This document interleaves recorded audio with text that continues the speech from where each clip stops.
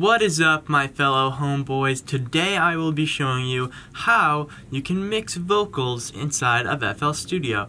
And it's important to note also that all of the things that I show you in this video can also be applied to other programs. So the things that I do with, you know, the different plugins and stuff can be replicated with whatever plugins that you have whatever substitute plugins that you have in your program as well. Or you can just do it in FL Studio. So, I'm going to be showing you the way I do it. I am not a professional mixer or masterer or anything of the sort, but I have mixed a lot of tracks for a lot of people, and I think I do a pretty okay job. So, that's what we're doing today. I will be showing you how to mix vocals in FL Studio or any software. Let's do it. Swag money. So first things first, I have these new headphones, which are pretty dope. They're um, these ones. So hopefully nothing goes wrong with the audio. Also, the song that I'm going to be using as an example that I'm going to be mixing um, is a song that I made with my friend Cyruson, and it is on SoundCloud. I'll leave a description in the link. I'll leave a link in the description below if you want to go check it out. It's pretty good. So yeah, let's get right into this video. So basically, the first step that you want to keep in mind is organization. If you organize your stuff good, it's going to make it a lot easier for you to mix the track overall. So what I mean by that is you take your beat. Here I have the beat for this song, which is produced by me. Uh, and as you can see, it's assigned to track one. Uh, so the beat, I usually always assign it to track one.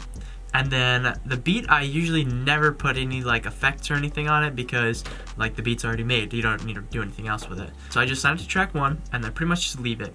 Okay, so next what you want to do is you want to take like the different sections of the song. You want to take like pieces of the chorus, pieces of, you know, like the bridge, pieces of like the hook, and then assign those to each of their own mixer tracks. So all the stuff from the chorus is going to be in two for me. Uh, as you can see here, I have this piece, it's assigned to two, um, and it's right here. And then I have the verse, the bridge, and then I have this little piece. And then if you have any other uh, like random clips that you want to have a different channel of effects on, put that in its own mixer as well. And as I said, I am going to be using this track as an example, but it is already mixed and mastered and everything, so that's why I have all these effects on it.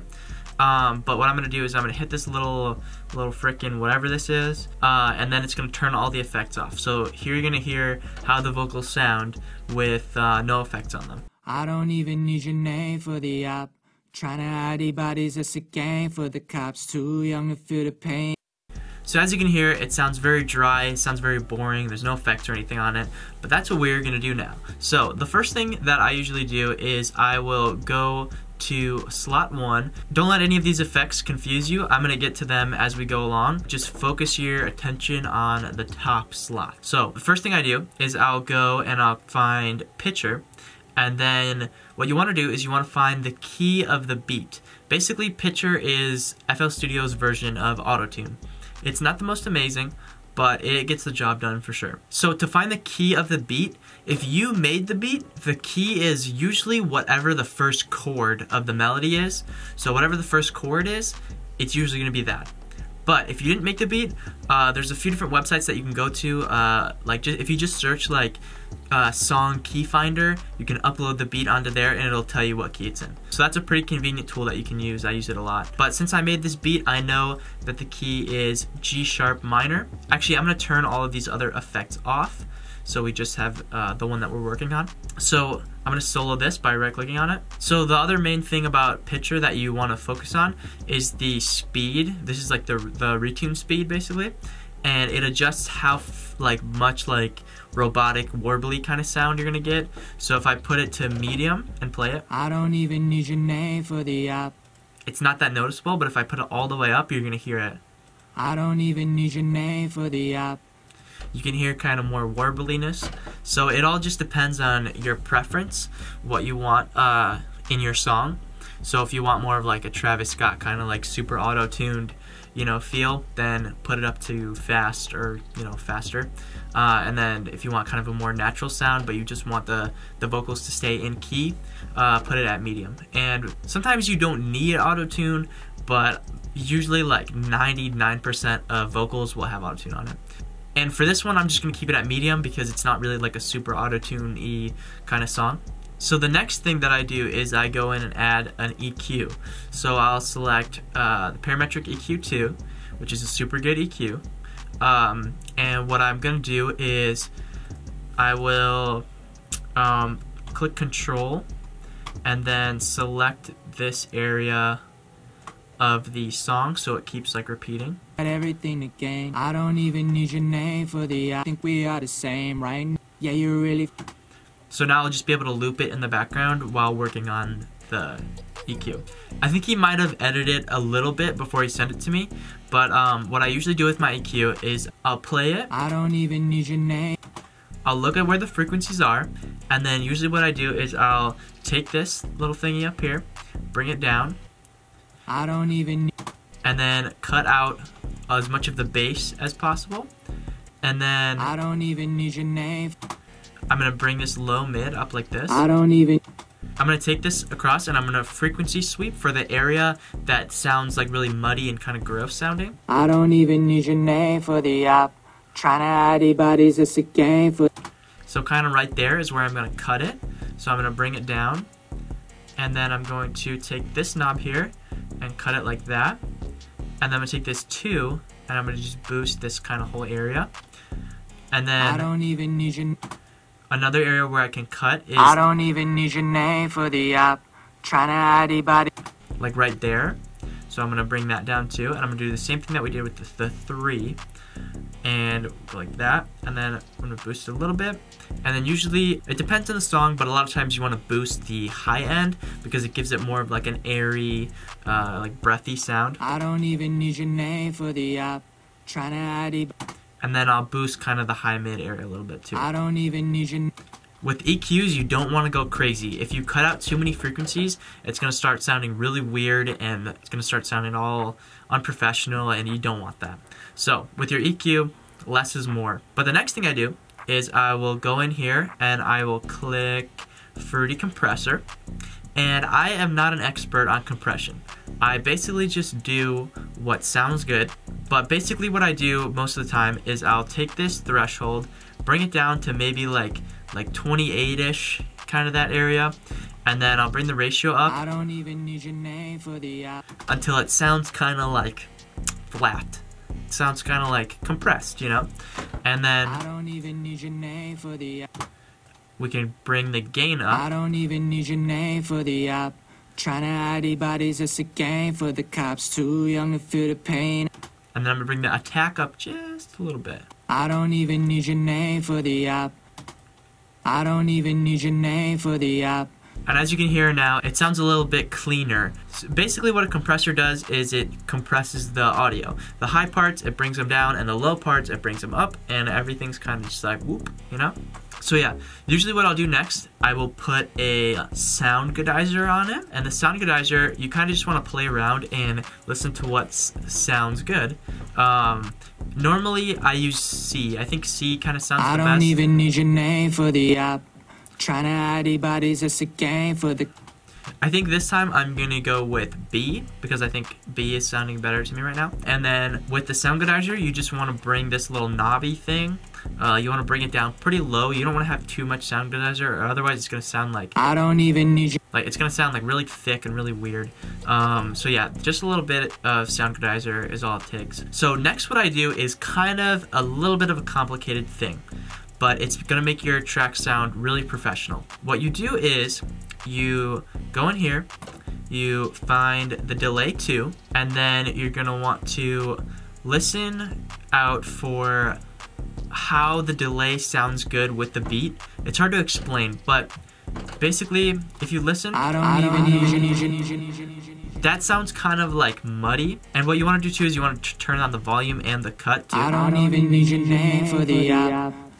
So basically, when you're adjusting the time, you want it to be spaced out enough to where it like kind of fills in the gaps a little bit of the silence, but it's almost like not too noticeable. But trust me, if if your timing is off with a delay, it's gonna be really really weird. So it might take a little while to find a good um, space where the delay is gonna fit in. I don't even need your name for the app. Trying to hide bodies, it's a game for the cops. Too young to feel the pain. I got everything to gain. Mm-hmm.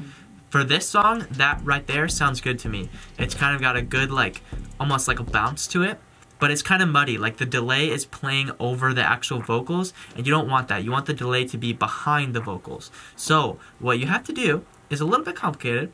Go into, usually I put it at the bottom, like slot 10 or slot 9. Go to Fruity Peak Controller, and now what you're gonna do, you can X out of this, you wanna click on the volume knob of the delay, you wanna right click on it, and then click Link to Controller, and then internal controller. For me, I have a lot of these, but you're not gonna see this. You're probably just gonna see one, and whichever one you see, click on peak. But for me, I'm gonna click on the one that uh, the mixer is called. So chorus, take, blah, blah, blah, blah. I'm gonna click peak. And then what you're gonna do next is you're gonna go to where it says input, and you're gonna click on that little drop down and click inverted. And now you click accept. And now what it's gonna do is it's not gonna play while the actual vocals are playing. I don't even need your name for the app. As you can see, the volume on the delay is kind of spazzing out. What it's basically doing is it's turning off the delay when the, the actual vocals play, and then it turns them back on when there's nothing playing.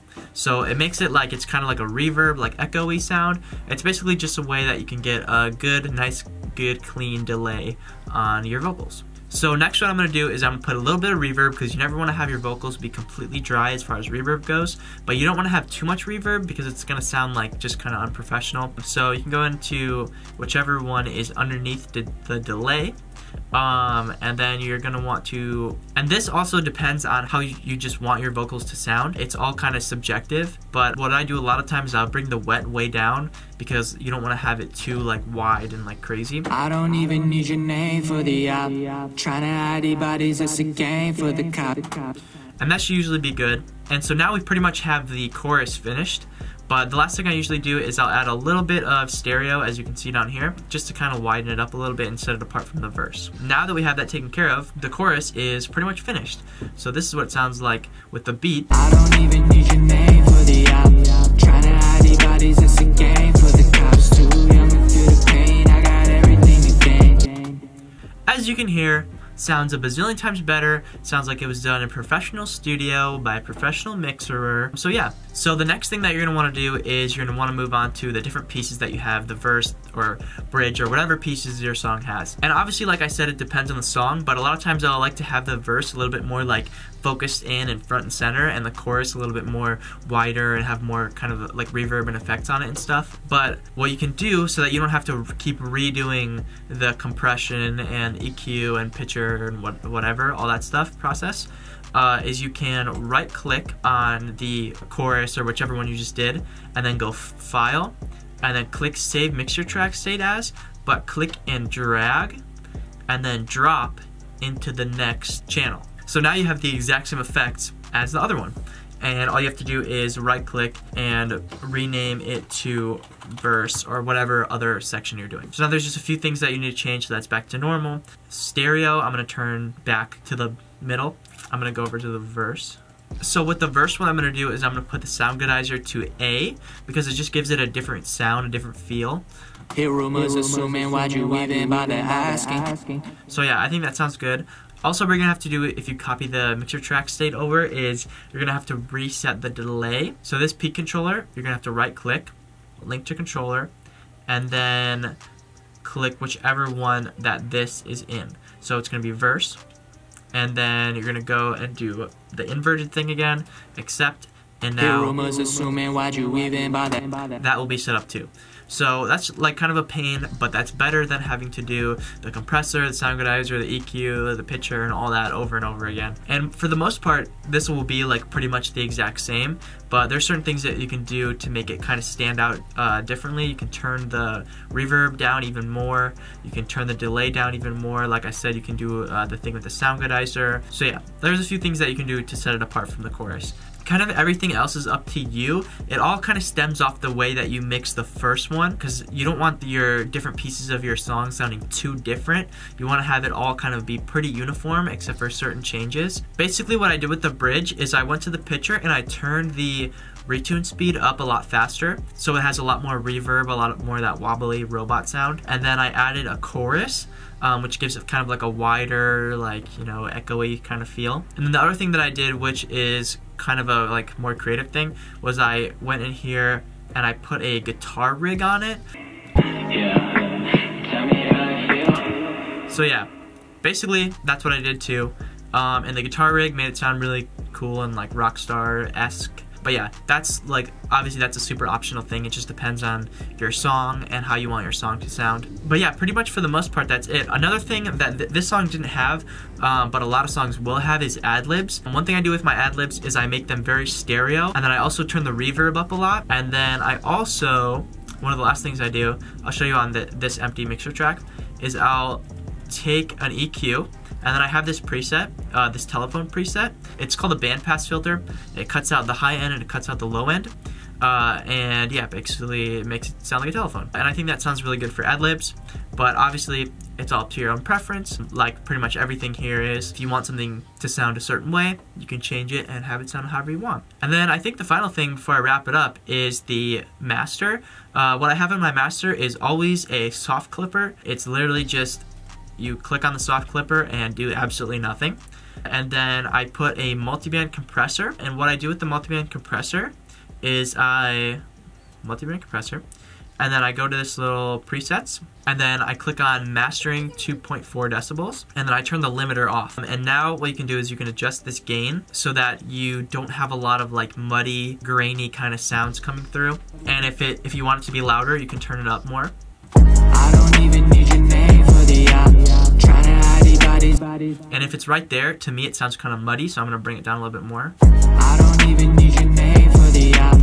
And then right there, it sounds pretty much perfectly fine. So now all you have to do is literally just export it and then you're done. And then there's certain other things I have here, as you can see, like just different like automations and stuff. It's good to mess around with that stuff. It's good to mess around with like, you know, turning certain EQs off. Right here I have a Panomatic, which basically pans the sound from one side to the other and it gives it a cool effect too. Basically, it's really important to just be creative, to play around with stuff, take your time, learn your style, learn what you like, learn what sounds good, and you'll be perfectly fine. So yeah, basically, I hope this video helped you out. I hope you will now be able to mix uh, whatever tracks that you want to mix. I hope they sound nice and professional. If you have any questions, leave them in the comments below. And also, I will put a link in the description to a playlist of songs I've produced, along with my Instagram, SoundCloud, and blah, blah, blah, blah. All that stuff as well, if you wish to check that out. So yeah, I hope you guys enjoyed, and I will see you next time